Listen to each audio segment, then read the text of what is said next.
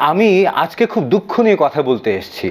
যাদেরকে আমি নিজের বন্ধু বলে মনে করতাম, তারা আজকে আমাকে বলে দিয়েছে, আমি যাদেরকে চিরকাল ঘৃণা করে এসেছি, তাদের পক্ষের লোক। এবং যাদেরকে আমি বুদ্ধি, আমার বন্ধু বলে মনে করতাম, সেই প্রগতিশীল লেখক আন্দোলনের বন্ধুরাও আমাকে বলছে, আমি অশ্লীলতার পক্ষপাতী, এমন কিছু সাহিত্য রচনা করছে যেগুলো মানুষের চোখকে নাকি আন্দোলন থেকে সংগ্রাম থেকে দূরে সরিয়ে নিচ্ছে। আমি দেখতে পাচ্ছি যে একদিকে মানুষের যৌবন কেমন করে রাস্তার মোড়ে মোড়ে বিক্রি হয়ে যাচ্ছে কেবলমাত্র সামান্য পেটের খাদ্য জোগাড়ের জন্য। বিলেত থেকে বাপে তাড়ানো, মায়ের খেদানো শাসকদেরকে আমাদের শাসন করবার উপযুক্ত মোটামুটি দেশি ভাষা শেখানোর জন্য ফোর্ট উইলিয়াম কলেজের পক্ষ থেকে দেশি ভাষাগুলো তাদের মতো করে তৈরি করবার একটা প্রকল্প নিয়ে ফোর্ট উইলিয়াম কলেজ স্থাপন করা হলো।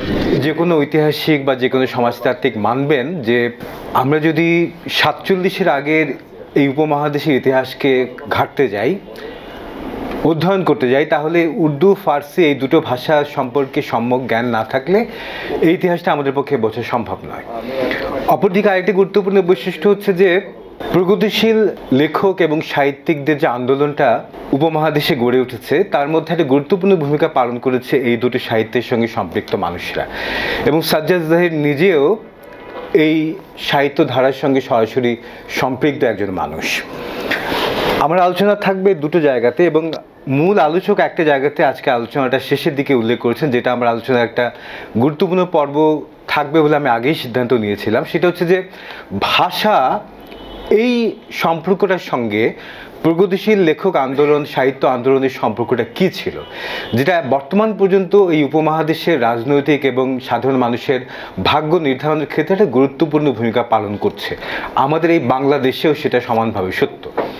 প্রগতিশীল লেখক আন্দোলনের সূত্রপাতটা যে জায়গা থেকে আমরা চিন্তা করব, যদি একভাবে চিন্তা করে দেখি তাহলে একটা কথায় উনিশশো ছত্রিশ সালে লখনৌতে প্রথম যে সম্মেলনখানি হলো, সেই সম্মেলনের মধ্যে মুন্সী প্রেমচাঁদ ছিলেন সভাপতি, তার বক্তব্যের মধ্যে একটা শব্দ, একটা লাইন আসলে বলা উচিত। একটা লাইনের মধ্যে দিয়ে অসাধারণভাবে প্রগতিশীল লেখক আন্দোলন, সাহিত্য আন্দোলনের মূল নির্যাসটুকু উঠে এসেছিল। তিনি শুরু করেছিলেন এই বলে যে, আমি হুসনে কি মায়ার বদল না হ্যাঁ? আমাদেরকে সৌন্দর্যের মানদণ্ড পাল্টে ফেলতে হবে। এর আগ পর্যন্ত সৌন্দর্য বলতে শুধুমাত্র ফুল, লতা, পাতা, পাখির গান, সবুজ এই জায়গা থেকে বের হয়ে আসতে হবে। যা কিছু সুন্দর তা যদি সত্য হয়, তাহলে যা কিছু সত্য তাকেও সত্য বলে আমাদেরকে চিহ্নিত করতে হবে, স্বীকার করতে হবে। অর্থাৎ যা সুন্দর ছিল তার সত্য এতদিন বলে আমরা চিহ্নিত করে এসেছি। এখন আমাদেরকে যেটা করতে হবে সেটা হচ্ছে যা কিছু সত্য তাকেই সুন্দর বলে চিহ্নিত করতে হবে। একটা বড় কিন্তু মোড় বদল ঘটে গেল সাহিত্যের ক্ষেত্রে। অর্থাৎ চারপাশে তাকিয়ে আমরা যে দেখতে পাচ্ছি ক্ষুধার্ত মানুষ, মায়ের কোলে শিশু খেতে পাচ্ছে না, মাথার উপর ছাদ নেই, ছাদ ভেঙে জল পড়ছে, শীতে কুঁকড়ে থাকছে বিষণ্ণ মানুষেরা, তাদের গায়ে একটা জামা নেই, পেটের মধ্যে খাদ্য নেই, আগুন জ্বালিয়ে যেটা তাপ পোহাবে তার জন্য দুটো শুকনো কাঠ কুটো তাদের জোগাড় করবার সামর্থ্য নেই। এটা যদি সত্য কথা হয়, তার মানে এটাও একই সঙ্গে সুন্দর। খুব বড় একটা মোড় ঘুরে গেল। যা ছিল এতদিন সুন্দর, এজন্য সত্য। এখন এটা সত্য, সুতরাং এটা সুন্দর এবং তাই জন্য এটা সাহিত্যের বিষয় হতে বাধ্য। এই যে নতুন বিবর্তনটা ঘটে গেল, এই বিবর্তনটা কিন্তু ঘটে যাচ্ছে এবং সাজ্জাদ জাহিররা যে এটাকে একটা নতুন গুরুত্বপূর্ণ কেন্দ্র হিসেবে সামনে নিয়ে আসছেন, এই কেন্দ্র হিসেবে সামনে নিয়ে আসার সূত্রপাতটা ঘটে গেছে আরও আগে। যেমন এখানে আমার আগের প্রধান আলোচক যিনি সূত্র আলোচনা করেছেন, তার আলোচনার মধ্যে মির্জা গালিবের কথা এসছে, যাকে আমরা বলতে পারি ভারতবর্ষ ইতিহাসে প্রথম আধুনিক মানুষদের মধ্যে অন্যতম। তার কাছে একবার একজন, তার বন্ধু এসে বলছে, সেটা আঠারোশো ষাট দশকের কথা, যে আমার বন্ধুকে, বন্ধু এসে বলছে যে আমার ছেলেকে আমি কি পড়াবো? মুহাদ্দিস বানাবো? নাকি মুফাসির বানাবো? মির্জা গালিব তখন তাকে একটা ফার্সি প্রবচন শোনাচ্ছেন যে, মুর্দা পরিবর্তন মুবারক্কর জেস্ত অর্থাৎ যে মরে গেছে তাকে প্রতিপালন করে আর লাভ নেই। বরং যে বেঁচে আছে তাকে কেমন করে প্রতিপালন করা যায় সেটা চিন্তা করো। তাকে বিজ্ঞান পড়াও, তাকে চিকিৎসা শাস্ত্র পড়াও, তাকে নতুন ভাষা শেখাও। এই যে সমাজের মধ্যে নতুন সূত্রপাতগুলো ঘটছে, বাস্তবকে আবাহন করার, বাস্তবকে আলিঙ্গন করার, এই সূত্রগুলোই প্রকৃত অর্থে সাজ্জাদ জাহিররা তাদের প্রগতিশীল লেখক আন্দোলনের মধ্যে তাকে ধারণ করেছিলেন। এবং একটা খুব গুরুত্বপূর্ণ বিষয় আমাদের মনে রাখতে হবে যে সাজ্জাদ জাহির এবং তার পরবর্তীকালে তার যে বন্ধুরা ছিলেন, যাদের মধ্যে অন্যতম হচ্ছেন ফয়েজ আহমেদ ফয়েজ, যাকে বলা হয় যে উর্দু সাহিত্যের অন্যতম যে কয়েকটা দিশা বা পিলার বলা হয় যাদেরকে, তার মধ্যে মির্জা গালিব একজন, পরবর্তীকালে মোহাম্মদ ইকবাল একজন এবং তারপরে সর্বশেষ যে বড় একখানি স্তম্ভ উর্দু সাহিত্যের তিনি হচ্ছেন ফয়েজ আহমেদ ফয়েজ। যিনি উনিশশো চৌষট্টি সনে সম্ভবত লেনিন শান্তি পুরস্কার পেয়েছিলেন। এই ফায়েজ আহমেদ ফয়েজের একটি কবিতার দিকে যদি আপনারা তাকান, তাহলে বুঝতে পারবেন যে প্রগতিশীল লেখক আন্দোলন আসলে কেমন করে কাব্য এবং সাহিত্যের জগতের মধ্যে কি ব্যাপক পরিবর্তন নিয়ে এসেছিল। ফয়েজ আহমদ ফয়েজের বিখ্যাত কবিতা, যেটি কিনা বলা হয় যে উর্দু সাহিত্যের একেবারে মোড় ঘুরিয়ে দিয়েছিল একটা কবিতা। কবিতাটার নামই হচ্ছে যে মুসে পেহলিস মুহাব্বত, মেরে মেহবুব নামাগ অর্থাৎ চিরকাল উর্দু কবিতার মধ্যে, ফার্সি কবিতার মধ্যে যে প্রিয়কে আবাহনের কথা হচ্ছিল, যে প্রিয়কে পাওয়ার জন্য প্রেমিক তার ইহকাল পরকাল দুই কালই বিসর্জন দিতে পারেন। ফয়েজ আহমদ, ফয়েজ তাকে বলছে যে মুসে পেহলিস মুহাব্বত, মেরে মেহবুব না মাং হে আমার প্রিয়, হে আমার প্রেমাস্পদ, তুমি আমার কাছে আগের মতো সেই ভালোবাসা আর চেয়েও না। কেন? কোথায় দ্বিধা বিভক্ত হয়ে গেল কাব্যের জগৎ, যেখানে প্রেমিক তার প্রেমাস্পদকে বলতে পারে, তুমি আমার কাছে আগের মতো প্রেম আর চেয়েও না। ফয়েজ আহমদ, ফয়েজ বলছেন যে, আমি তোমার প্রেমে আগের মতোই মত্ত আছি। তোমার সৌন্দর্য যেমন ছিল এখনও সেই সৌন্দর্যের কোনো তুলনা নেই। তোমার সৌন্দর্যের দিকে তাকিয়ে এখনও আমার মনে হয় যে সৌন্দর্যের জন্য জীবন এবং ইহকাল, পরকাল সব কিছুই বিসর্জন দিয়ে দেওয়া যায়। কিন্তু একই সঙ্গে আমি দেখতে পাচ্ছি, আমার চারপাশে এই যে ক্ষুধার দারিদ্র, এই যে দেখতে পাচ্ছি একই সঙ্গে কারুর গায়ে রেশমের পোশাক অপর দিকে কারুর গায়ে পচে যাওয়া ক্ষত দুর্গন্ধ। আমি দেখতে পাচ্ছি যে একদিকে মানুষের যৌবন কেমন করে রাস্তার মোড়ে মোড়ে বিক্রি হয়ে যাচ্ছে কেবলমাত্র সামান্য পেটের খাদ্য জোগাড়ের জন্য। অপরদিকে কিছু মানুষের গায়ে কিংখাব কিছু মানুষের গায়ে রেশমের পোশাক। এই সত্যকে আমি কেমন করে অস্বীকার করি? সুতরাং হে প্রিয় তোমার সৌন্দর্য আগের মতোই আছে। আমি জানি, আমি মানি। তোমার প্রতি আমার ভালোবাসা বিন্দুমাত্র কমেনি। কিন্তু হে কিন্তু হে প্রিয়, ওই দিকে যে আমার চোখ একবার চলে গেছে, আমি কেমন করে সেই সত্য এখন ভুলে যাই। সুতরাং হে প্রিয়, তুমি আমার কাছে আগের মতো আর ভালোবাসা চেয়েও না। এই যে সৌন্দর্যের মধ্যে, প্রেমের মধ্যে একটা বিভাজন এসে পড়া। সে যে মুন্সী প্রেমচাঁদ বলেছিলেন যে, সত্য এখন সত্য বলেই সুন্দর অংশ। কবিতার অংশ হয়ে গেল, কাব্যতত্ত্বের অংশ হয়ে গেল প্রগতিশীল লেখক আন্দোলনের মধ্যে। এইভাবে কাব্য এসে। পরবর্তীকালে এই লেখক আন্দোলন পুরো ভারতবর্ষ জুড়ে খুব বড় একটা, খুব বড় মাপের একটা জোয়ার গড়ে তুলেছিল। সে ব্যাপারে সন্দেহের কোনো অবকাশ নেই। কিন্তু একই সঙ্গে এর ভেতরে অনেকগুলো বিভাজনের, অনেকগুলো দ্বন্দ্ব এবং সংঘাতের বাস্তবতা ছিল। ঠিক যেমন করে মাও বলতেন যে বিপ্লব কোনো ভোজ সভা নয়। ঠিক তেমনি প্রগতিশীল আন্দোলনের মধ্যে কেবলমাত্র সব ভালো ভালো, সুন্দর, বাস্তব, আত্মত্যাগের উপাদানগুলো ছিল, এটা বললেও সত্যের অপলাপ হবে। একই সঙ্গে এই প্রগতিশীল লেখক আন্দোলনের মধ্যেও অনেকগুলো পরস্পর সংঘাতমূলক দান্দিক অবস্থান ছিল। প্রগতিশীল লেখক আন্দোলন যখন প্রবলভাবে একটি শক্তিশালী আন্দোলন হয়ে যায়, তখন একদিকে সত্যি কথা যে ভারতবর্ষ জুড়ে যে বুর্জোয়া, ক্ষমতাশালী বুর্জোয়া বুদ্ধিবৃত্তিক চিন্তাধারক যারা ছিলেন, তারা সত্যি সত্যি এই লেখক আন্দোলনকে, প্রগতিশীল সাহিত্য আন্দোলনকে বাইরের থেকে পরিচালিত একটা সাহিত্য আন্দোলন বলে চিহ্নিত করতে চেয়েছিল। আবার অপরদিকে এটাও সত্য যে প্রগতিশীল লেখক আন্দোলনের মধ্যে একেবারে মোটা দাগে, হয় তুমি আমার পক্ষে আছো, নয়তো তুমি আমার পক্ষ নেই, এরকম একটা দ্বিধা বিভক্তিও ছিল। অর্থাৎ যারা সত্যি সত্যি মোটা দাগে প্রগতিশীল লেখক আন্দোলনের ঠিক করে দেয়া সাংগঠনিক কর্মসূচি, সাংগঠনিক চিন্তার বাইরে যারা অবস্থান করতো সাহিত্যের মধ্যে, তাদের প্রত্যেককেও এখান থেকে খারিজ করে দেওয়ারও একটা প্রবণতা ছিল। তার প্রমাণ আপনারা পাবেন সাদাত হাসান মান্টোর মধ্যে।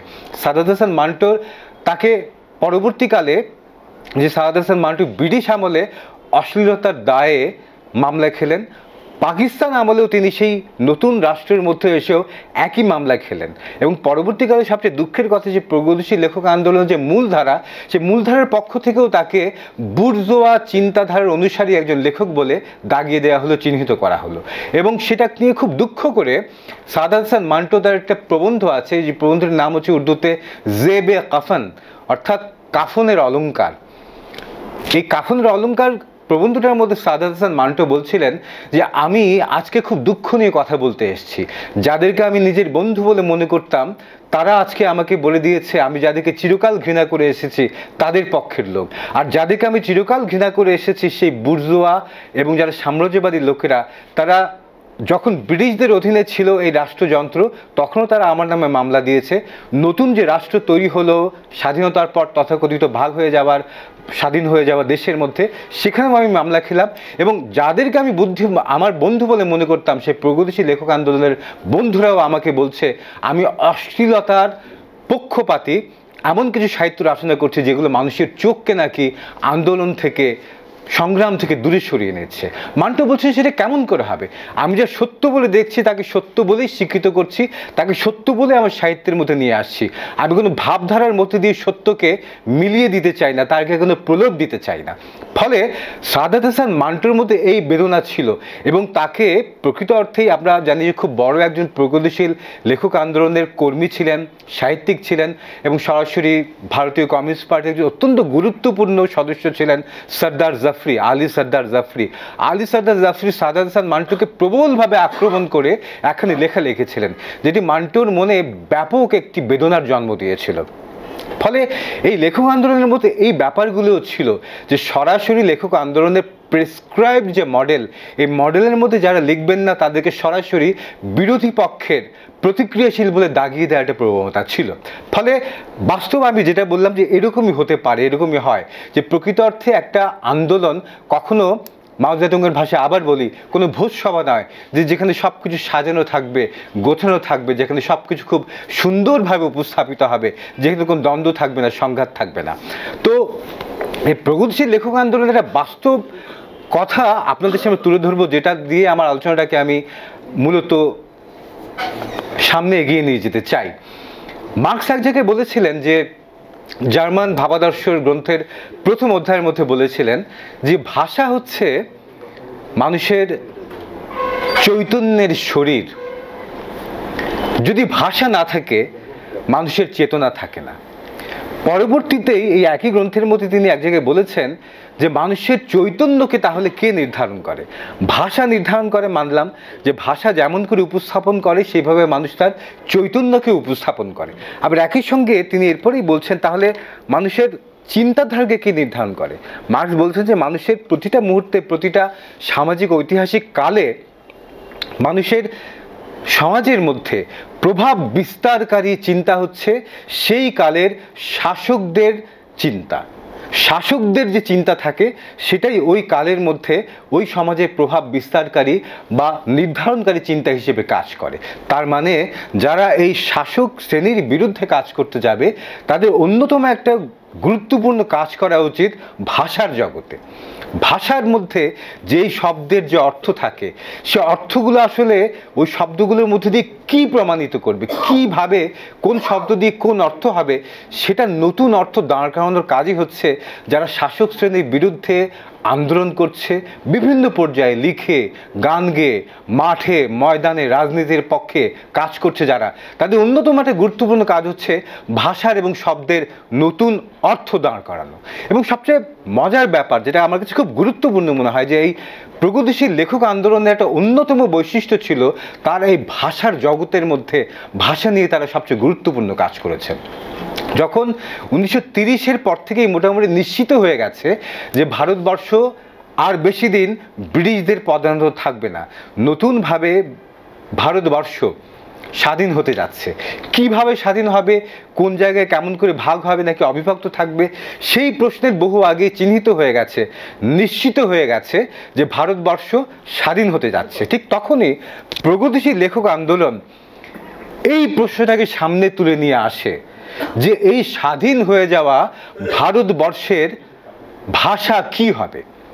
উনিশশো পঁয়ত্রিশ সনে যখন ওই পাঁচটা মূল পয়েন্ট প্রগতিশীল লেখক আন্দোলনের ইশতেহারের মধ্যে যেগুলোকে দেয়া হয়, সে পাঁচটা প্রগতিশীল আন্দোলনের পয়েন্টগুলো, যেগুলো আমরা এখন দেখতে পাচ্ছি, যেগুলো ইলহাম ভাই আমাদেরকে পড়ে শোনালেন, সেগুলো কিন্তু চূড়ান্ত হয়ে যাওয়া পয়েন্ট, পাঁচটা।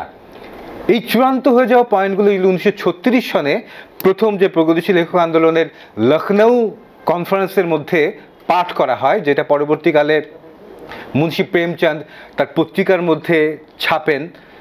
তার আগে উনিশশো পঁয়ত্রিশ সনে এই খসড়া পয়েন্টগুলোর মধ্যে একটা অন্যতম পয়েন্ট ছিল, স্বাধীন ভারতবর্ষের ভাষা কি হবে? তার আগে একটু প্রেক্ষাপটটা আমাদের জেনে নেওয়া প্রয়োজন, যে ভারতবর্ষকে ইংরেজরা ডিভাইড অ্যান্ড রুলের যে পলিসি ভাগ করো এবং শাসন করো। এই ডিভাইড অ্যান্ড রুলের পলিসিটা তারা বহু আগেই প্রতিষ্ঠিত করতে পেরেছিল। এবং এটি প্রতিষ্ঠিত করতে পেরেছিল তারা ভাষার ভিত্তিতেই। একটা গুরুত্বপূর্ণ তথ্য যেটা পরবর্তীকালে আপনি দেখবেন যে, বর্তমানে আমরা দেখছি যে হিন্দুত্ববাদী ভারতের রাষ্ট্র যে তৈরি করবার পরিকল্পনা নিয়ে তারা খুব চমৎকারভাবে এগিয়ে যাচ্ছে। তাদের একটা অন্যতম ব্যাপার হচ্ছে যে, উর্দু হচ্ছে মুসলমানদের ভাষা এবং তারা মোদি যে ভাষায় ভাষণ দেন সেই হিন্দি হচ্ছে হিন্দুদের ভাষা। এই যে প্রকল্পখানি, এই প্রকল্পখানি কিন্তু তৈরি করেছেন ইংরেজরা। আঠারোশো এক সনে ফোর্ট উইলিয়াম কলেজ স্থাপন করলেন ইংরেজরা।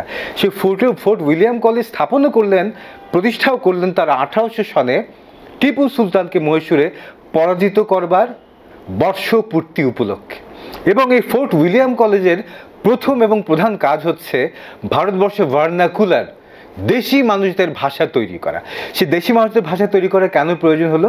প্রয়োজন হলো এই কারণে ইংরেজরা ওইখান থেকে বাপে খেদানো, মায়ে তাড়ানো যে ছেলেগুলোকে এখানে আসতো প্রকৃত অর্থেই তারা ভারতবর্ষে এসে ইস্তিনিয়া কোম্পানির পক্ষ হয়ে আমাদের মতো কালা আদমিদেরকে, বাদামি আদমিদেরকে শাসন করবার জন্য বেশি কিছু ভাষা তো তাদের জানা দরকার।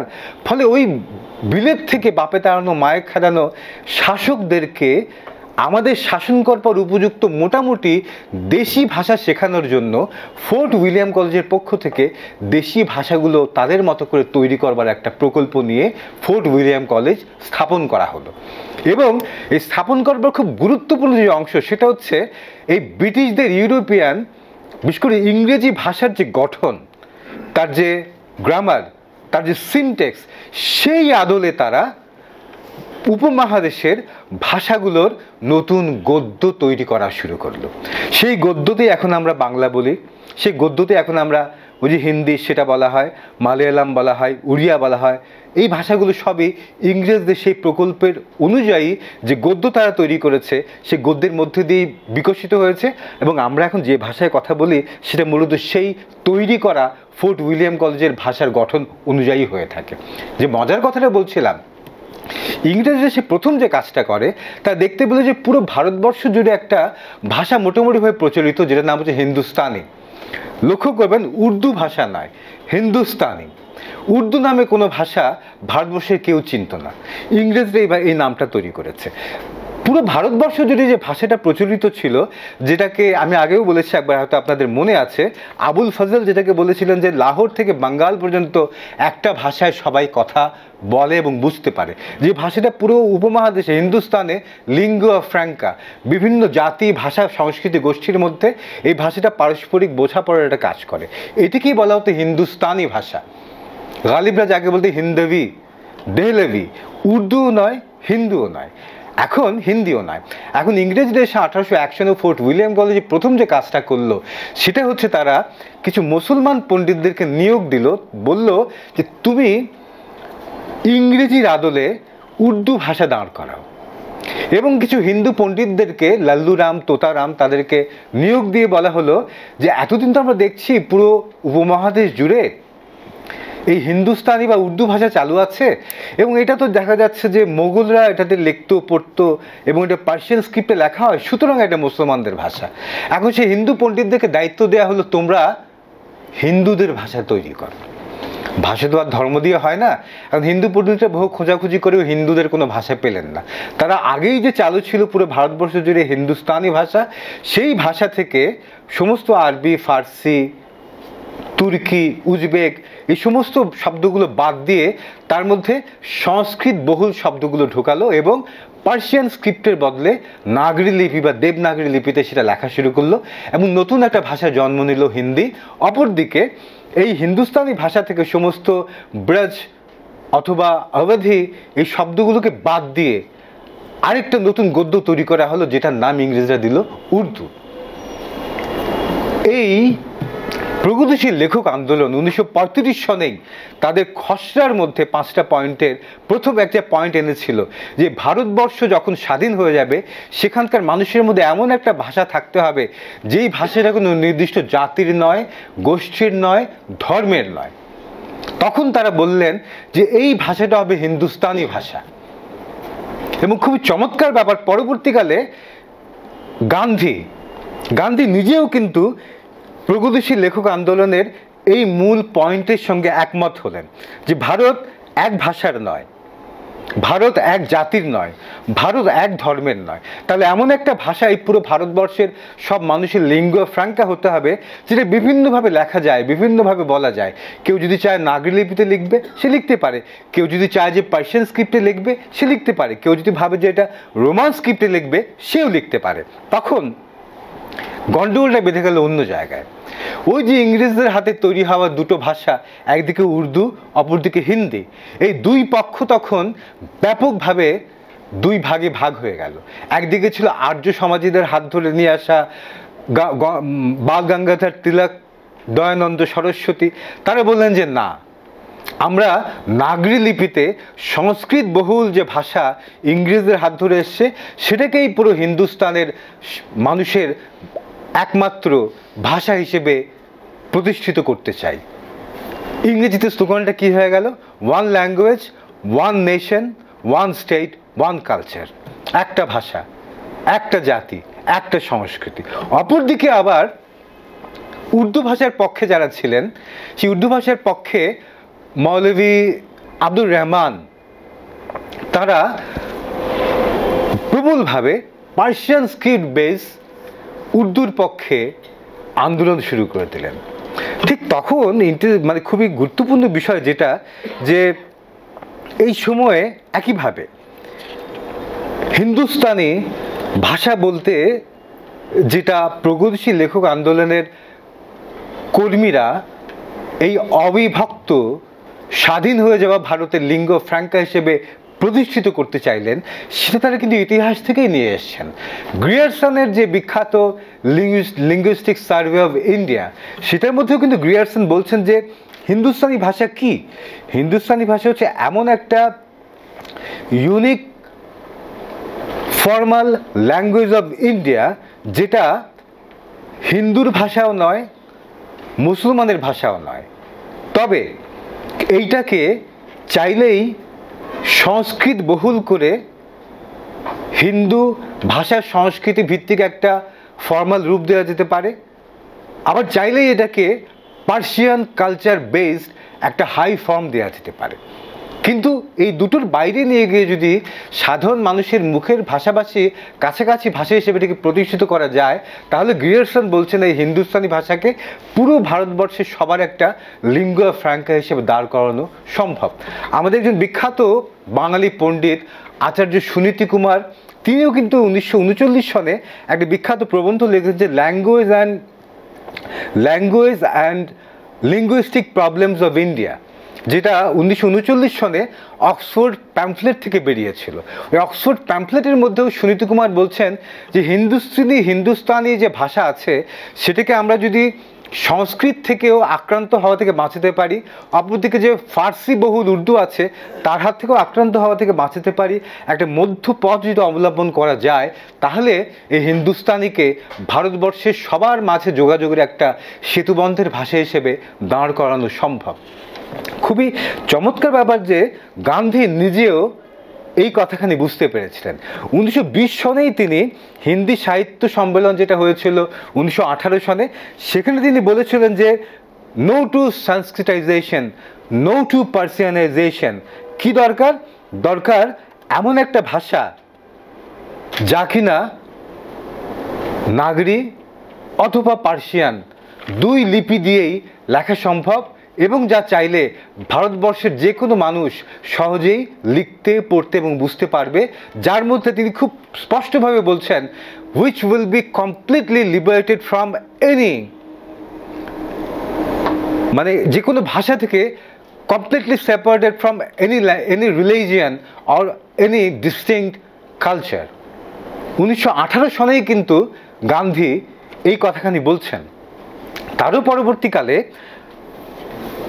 এই খুব একটা কৌতূহলোদ্দীপ ব্যাপার। যখন প্রগতিশীল লেখক আন্দোলন উনিশশো পঁয়ত্রিশ, ছত্রিশ এবং আটত্রিশ সনে এই কথাগুলো বলছে, ঠিক একই সময় ইতালিতে গ্রামসিও তার কারাগারে বসে লেখা নোটগুলোর মধ্যে ইতালির ভাষা নিয়ে, সাধারণ মানুষের ভাষা নিয়ে একই কথা বলে যাচ্ছেন। সেই কথার মধ্যে গ্রামসি বলছেন যে ইটালিতে প্রাচীনকাল থেকে, মধ্যযুগ থেকেই ল্যাটিন ভাষাটা অভিজাত জনের ভাষা হিসেবে প্রচলিত ছিল। কিন্তু সেই ল্যাটিনের আবার দুটো রূপ ছিল। একটা হচ্ছে হাই ল্যাটিন একটি আরেকটা হচ্ছে যাকে বলে ভালগার ল্যাটিন। সাধারণ মানুষের মুখে অপভ্রংশ হয়ে যাওয়া ল্যাটিন। গ্রামসি বলছেন যে ইতালিতে, গ্রামসি বলছেন উনিশশো আঠারো, উনিশশো বিশ, উনিশশো চব্বিশ এই সময়কালের প্রসঙ্গ টেনে গ্রামসি বলছেন যে আমাদের বামপন্থীরা ইতালিতে এই ভালগার ল্যাটিনের ফলে গড়ে ওঠা সাধারণ মানুষের যে মুখের ভাষা, সেই সাধারণ মানুষের মুখের ভাষায় গড়ে ওঠা ইতালীয় ভাষায় সাহিত্য গড়ে তুলতে ব্যর্থ হওয়ার ফলে সাধারণ জনমানুষের কোনো সংস্কৃতি বামপন্থীরা গড়ে তুলতে পারেনি। ফলে এই যে ফ্যাসিবাদী যে আক্রমণ ইতালিতে শুরু হচ্ছে, তার অন্যতম কারণ হচ্ছে এই বামপন্থীদের বা সাধারণ মানুষের পক্ষের বুদ্ধিজীবীদের এই ভালগার ল্যাটিনে, ভালগার ইতালিয়ান ভাষায় সাহিত্য রচনা করতে ব্যর্থ হওয়ার একটা অন্যতম ফলাফল। খুব গুরুত্বপূর্ণ বিষয়, একই সময়ে ভারতের এই প্রগতিশীল লেখক আন্দোলনের কর্মীরাও এই কথাই বললেন। এবং পরবর্তীকালে এই আন্দোলন খুব প্রবল রূপ নিয়েছিল। অনেক তর্কাতর্কি হয়েছিল এবং আমরা দেখতে পেয়েছি যে আমাদের এই সাজ্জাদ জাহির নিজেও এটার প্রসঙ্গে একটি গুরুত্বপূর্ণ প্রবন্ধ লিখেছিলেন। সেই প্রবন্ধটি উর্দুতে, হিন্দিতে এবং ইংরেজিতে উনি নিজেই লিখেছিলেন। তিন ভাষায় ছাপা হয়েছিল এবং পরবর্তীকালে এই সংঘাতটি ভাষা ভিত্তিক সংস্কৃতির সংঘাতটি খুব দুর্ভাগ্যজনক ব্যাপার। ভারত ভাগ হয়ে যাওয়ার পর একদিকে পাকিস্তানে উর্দু হয়ে যায় মুসলমানদের ভাষা। তখন উনিশশো উনপঞ্চাশ সনে স্বাধীন ভারতের পার্লামেন্টের মধ্যে আলোচনা শুরু হয় যে স্বাধীন ভারতের ভাষা কি হবে। তখন গোপাল আয়াঙ্গার এবং কে এম মুন্সি এই দুজনকে দায়িত্ব দেওয়া হয় স্বাধীন ভারতের কি ভাষা হবে সেটা চিহ্নিত করার জন্য একটা কমিশন করে তাদেরকে দায়িত্ব দেওয়া হয়। এই কমিশন একটা প্রস্তাব দেয়। প্রস্তাব হচ্ছে এই যে ভারতবর্ষে দুটো ভাষা চলবে। এক হচ্ছে নাগরী নির্ভর হিন্দি ভাষা, অপরটা হচ্ছে ইংরেজি। এবং খুব মজার ব্যাপার, যে ভারতকে গড়ে উঠেছিল ধর্মের ভিত্তিতে ভাগ হয়ে যাওয়া নয় বলে একটি সেকুলার রাষ্ট্র হিসেবে নিজেদেরকে প্রতিষ্ঠিত করতে চেয়েছিল, যা কিনা ভারত স্বাধীন হওয়ার পর টাইমস ম্যাগাজিনের প্রচ্ছদে উঠেছিল, আপনারা অনেকেই জানেন, যে নেহরু উপবিদ ধারণ করে যজ্ঞ করছেন, স্বাধীন ভারতের প্রথম যজ্ঞ করা হচ্ছে এবং দূরে মরনা আবুল কালাম আজাদ যজ্ঞভূমি থেকে দূরে দাঁড়িয়ে আছেন। টাইমসের বিজ্ঞাপনে টাইমসের কাভারের মধ্যে যে ছবি উঠেছিল এবং তার শিরোনাম ছিল এই birth of a secular nation সেই ভারতের পার্লামেন্টে উনিশশো উনপঞ্চাশ সনে ভাষা নিয়ে এই কমিশন করা হলো আয়াঙ্গার এবং মুন্সি কমিশন।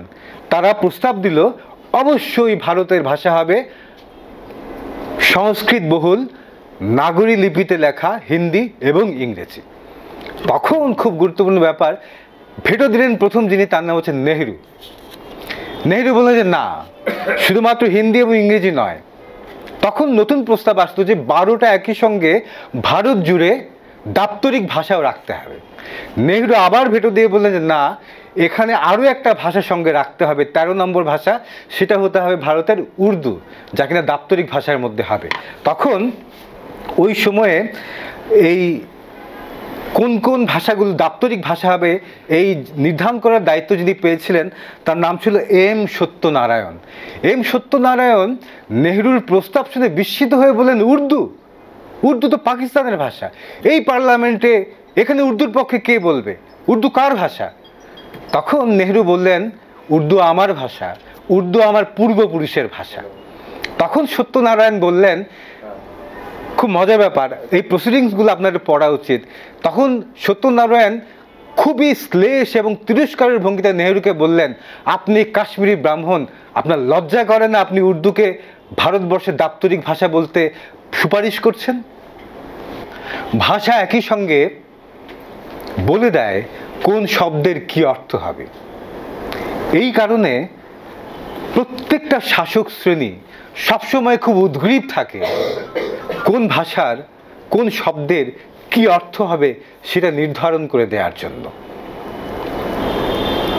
এই গুরুত্বপূর্ণ বিষয়টি বুঝতে পেরেছিল। প্রগতিশীল সাহিত্য এবং লেখক আন্দোলনের পুরোধাররা। এই জন্য তারা এই জিনিসটাকে এতটা গুরুত্ব দিয়েছিলেন এবং তারা চেয়েছিলেন ভারতবর্ষ জুড়ে এমন একটা সাহিত্যর ধারা আন্দোলন গড়ে তুলতে। যে সাহিত্যর ধারা, যে ভাষা, যে সংস্কৃতি মানুষের কথা বলবে। নতুন ভাষা তারা চেয়েছিলেন, কারণ তারা চেয়েছিলেন নতুন একটা সমাজ। যে সমাজের মধ্যে নতুন ভাষা, নতুন চৈতন্য, নতুন সমাজ কাঠামো, মানুষের সঙ্গে মানুষের নতুন সম্পর্ক তৈরি হবে, স্থাপন হবে। প্রগতিশীল লেখক আন্দোলন কতটা গভীরে চিন্তা করেছিল মানুষের মুক্তিকে, সাহিত্যকে এবং সংস্কৃতিকে, এটা প্রকৃত অর্থে একটি অনুধাবনের বিষয়। এবং এটা যে প্রকৃত অর্থে আমরাও এখনও সেই জায়গাটাকে সম্পূর্ণভাবে অনুধাবন করতে পারছি কি না এই প্রশ্ন আমাদের সামনে রাখতে হবে। কারণ লক্ষ্য করে দেখবেন যে আমাদের এখানেও কিন্তু কোন ভাষায় আমরা লিখব সেই প্রশ্নের সমাধান কিন্তু হয়নি। বিভিন্ন জায়গায় বলা হচ্ছে যে আমাদের মানুষের মৌখিক কথ্য ভাষা কেন আমাদের সাহিত্যের মধ্যে আসবে না? কেন আমাদের কথার মধ্যে আসবে না?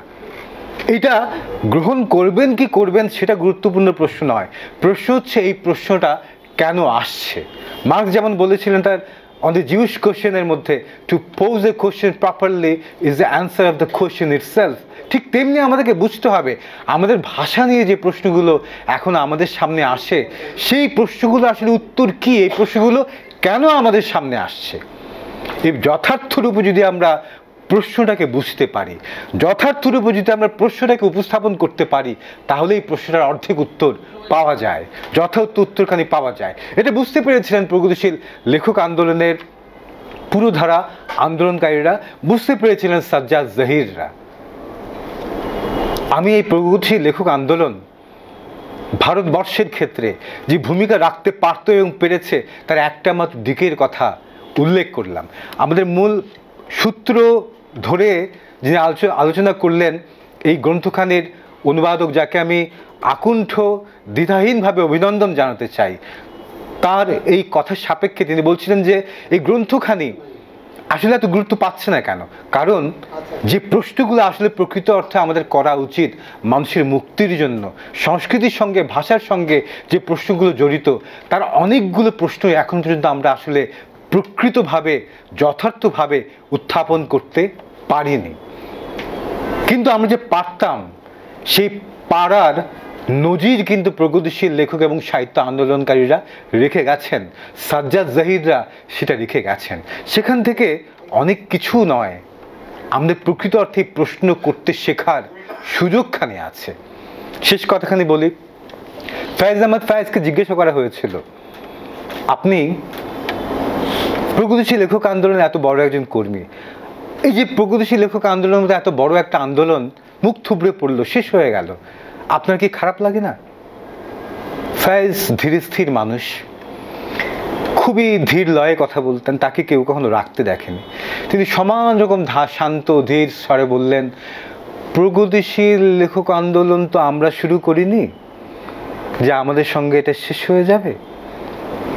এক এক সময়ে সমাজে এক একজন এক এক কবিরা, এক এক চিন্তকরা কালে কালে ওই সমাজের জন্য প্রগতিশীল লেখক আন্দোলন করে গেছে। হাজার বছর আগে ভর্তৃহীরা সে আন্দোলন করেছেন, সংস্কৃত কাব্যে। তারও বহু পরে শেখ সাদিরা পারস্যে কাব্যে সে কাজ করে গেছেন। পারস্য কাজে, পারস্য কবি শেখ সাদি প্রগতিশীল? হ্যাঁ আপনাকে ওই সমাজের ওই কালে বুঝতে হবে। আমি একটা কবিতার মধ্যে বলেছি, ফয়েজ বলছেন, শেখ সাদি থেকে লাইন নিয়ে বলেছিলাম যে সঙ্গখিস মোকাইয়ে ধায় সগ আজাদ উনি বলছেন যে, পাকিস্তানের রাষ্ট্রকে বলতে গিয়ে বলেছিলেন যে কেমন রাষ্ট্র আমাদের জন্য তৈরি হলো, যেখানে কু- পাগলা কুকুরদেরকে ছেড়ে দিয়ে সবগুলো ইট, পাথর কয়েদখানায় ঢুকিয়ে রাখা হয়, যাতে কু পাগলা কুকুরগুলোকে যাতে মারা না যায়। এই লাইনটা শেখ সাদি থেকে আমি ধার করেছি। শেখ সাদি আমারও এক হাজার বছর আগে ওই আমলের শাসকদেরকে লক্ষ্য করে এই কথা বলেছিলেন। তো শেখ সাদি আমার হাজার বছর আগে প্রগতিশীল লেখক আন্দোলনের একজন কবি ছিলেন। তার এক হাজার বছর পর আমার সময় আমি আমার যতটুকু কাজ সেটা করেছি। আমার বন্ধুরা সাজ্জাদ জাহিররা সে কাজ করে গেছেন। আমাদের দায়িত্ব আমাদের এই সময়ের মতো আমরা পালন করেছি। আমার পরে আবার সময় আসবে যখন এই সমাজের মানুষদের দরকার নতুন করে কেউ প্রগতিশীল লেখক আন্দোলন শুরু করবে। এটা আমরা শুরু করিনি, আমাদের মধ্যে দিয়ে এটা শেষও হবে না। অর্থাৎ সেই সুযোগটা আছে। ফয়েজ আহমেদ ফয়েজের মধ্যে দিয়ে, সাজ্জাদ জাহিদের মধ্যে দিয়ে প্রগতিশীল লেখক আন্দোলন শেষ হয়নি। তারা শুরুও করেননি। সুতরাং সে আন্দোলন নতুন করে শুরু করবার সুযোগ দায় আমাদের সবার আছে। ধন্যবাদ।